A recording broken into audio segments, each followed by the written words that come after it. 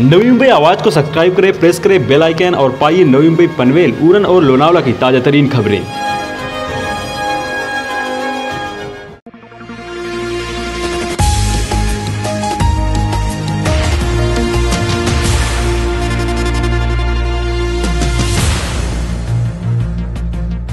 आजच्या शतकाला साजेशा असणाऱ्या अग्रेसर ग्रामपंचायतींमध्ये उरण तालुक्यातील धुतुम या ग्रामपंचायतीचे नाव प्रामुख्याने समोर येते. या ग्रामपंचायतीला आय एस ओ सारखे सर्वोच्च मानांकन देखील प्राप्त झाले आहे. या ग्रामपंचायत हद्दीतील विविध विकास कामांचे उद्घाटन व लोकार्पण सोहळा सी एस आर ग्रामपंचायत व अनेक संस्थांच्या निधीतून दहा ऑक्टोबर रोजी संपन्न झाला. फक्त दहा महिन्यांच्या कालावधीतच आधुनिकतेकडे वाटचाल करणारी ही ग्रामपंचायत सध्याच्या घडीला आदर्श ग्रामपंचायत म्हणून नावारूपास येत आहे. यावेळी कार्यक्रमाचे अध्यक्ष माजी आमदार विवेक पाटील श्रीसाई देवस्थान वहाळचे विश्वस्त रवी पाटील पनवेलचे माजी नगराध्यक्ष जे एम म्हात्रे सरपंच रेश्मा ठाकूर उपसरपंच सदानंद ठाकूर यांच्यासह अनेक मान्यवरांनी या कार्यक्रमाला शुभसंकेत दिले. उद्घाटन व लोकार्पण सोहळ्यामधील विकास कामांची यादी पुढील प्रमाणे आहे. दुतुम गावावर करडी नजर ठेवण्यासाठी सीसीटीव्ही कार्यान्वित करण्यात आले.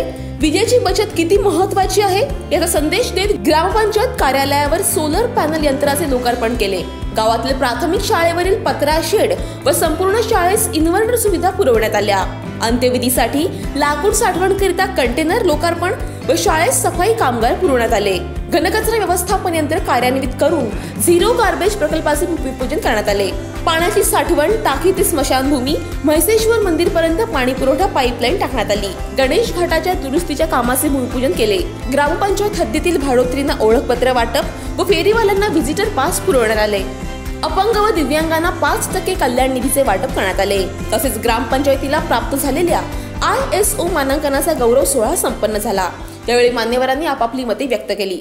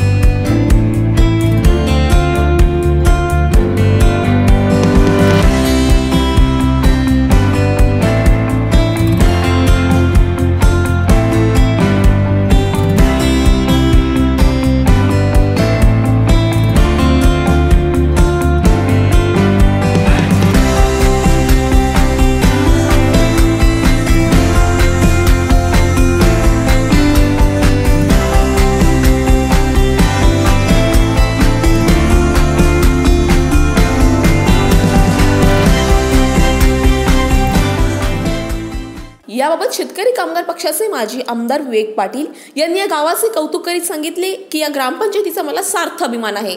शुभेच्छा एवढ्याच आहेत की अत्यंत सरपंच उपसरपंच सर्व सदस्य आणि त्याला मार्गदर्शन करणारे आमचे सर्व कार्यकर्ते आणि अत्यंत अभ्यासपूर्वक चांगल्या प्रकारे गावच्या समस्यांचा एक चांगल्या पद्धतीनं अभ्यास करून ज्या समस्या ज्ञात होत्या त्यांचाही अभ्यास केला आणि ज्या अज्ञात होत्या जनरली म्हणजे लोकांना माहीत नसतं बाबा हे काम ग्रामपंचायतीनं होईल का हे ग्रामपंचायतीनं होणार नाही पण या सगळ्याचा व्यवस्थितरित्या अभ्यास करून त्याच्यावर एक चांगल्या पद्धतीचं काम या ग्रामपंचायतीने केलेलं आहे. त्याच्याबद्दल त्या सर्वांचं मी मनपूर्वक अभिनंदन करतो. आणि ह्यांनी जसं काम ग्रामपंचायतीने काम केलं असंच काम साऱ्या ग्रामपंचायतीने केलं तर उरण तालुकासुद्धा आदर्श झाल्याशिवाय राहणार नाही असा विश्वास मला वाटतो. तसेच ग्रामपंचायत सदस्य शरद ठाकूर यांनी या विकास कामांचे श्रेय सर्वांना देत प्रतिक्रिया दिली आहे. नाही आता भविष्यामध्ये ज्या आता डायरेक्ट सरपंच म्हणून जे निवडून येतात तर सरकारचा सुद्धा उद्देश तोच आहे की ग्रा ग्रामपंचायतचा विकास झाला पाहिजे. सरपंच बदलून का विकास होत नाही. म्हणून त्यांनी डायरेक्ट सरपंच थेट जनतेतून सरपंच योजना चा हे चालू केलं सुरू सुरू केले. मग आता सरपंच पाच वर्षासाठी येतो आहे तर त्यांनी गावाचा विकास केला पाहिजे. आज आमच्या गावामध्ये जर काम करताना आम्हाला आनंद वाटतो आहे कारण ऑलरेडी आमच्या गावामध्ये सुविधा आहेतच. त्याच्यात आणखी काम करायला आनंद असं वाटतो आहे की विविध कंपन्या येणारा म्हणजे कंपन्यांमधून येणारं सी एस आर त्याचप्रमाणे टॅक्सेस वगैरे याच्या माध्यमातून गावाचा विकास चांगल्या पद्धतीनं करता येतो आहे उपक्रम जवळपास आत्ता आपण वीस पंचवीस उपक्रम राबवले आहेत दहा महिन्यामध्ये. आणखी आपल्याला उपक्रम भरपूर राब राबवायचे आहेत. मी माझ्या लाईफमध्ये जे स्वप्न पाहतो ते प्रत्यक्ष त्या स्वप्नांचा परत काम करण्याची माझी तयारी असते. आणि त्याच्यातलाच हा एक भाग आहे. की मी जे स्वप्न पाहिले ते स्वप्न इथपर्यंत मी आता पोचवलेत भविष्यातसुद्धा माझे स्वप्न आहेत ते नक्की मी पूर्ण करेन. म्हणजे मी आणि माझे सहकारी आमचे सरपंच मॅडम आणि आमचे ग्रामसेवक मोरे साहेब. मोरे साहेब म्हणजे जे आमचे ग्रामाधिकारी आहेत त्यांच्याकडं भरपूर अनुभव आहे की त्यांच्या अनुभवामध्येच किंवा त्यांच्या त्यांच्याकडे जो अनुभव आहे त्यांच्याकडे जी पात्रता आहे त्या पात्रतेचा आम्ही चांगल्या पद्धतीनं उपयोग व्हिडिओ जर्नलिस्ट अजित जाधवसह श्वेता भोईरांचा रिपोर्ट नवी मुंबई आवाज.